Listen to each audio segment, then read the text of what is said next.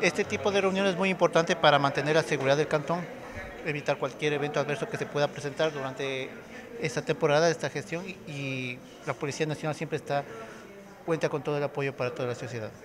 Importante en todo caso el trabajo conjunto con las nuevas autoridades del cantón. Sí, es importante el trabajo conjunto porque se puede conseguir muchas, muchos beneficios, muchos, muchos propósitos a favor de la comunidad y evitar que la ciudadanía se, eh, eh, esté alerta a cualquier situación que se pueda presentar. ¿Ya estamos coordinando alguna actividad con el municipio, con el alcalde? Sí, ya estamos ya trabajando, vamos a conformar el comité de seguridad para tratar sobre el tema de inseguridad en el cantón.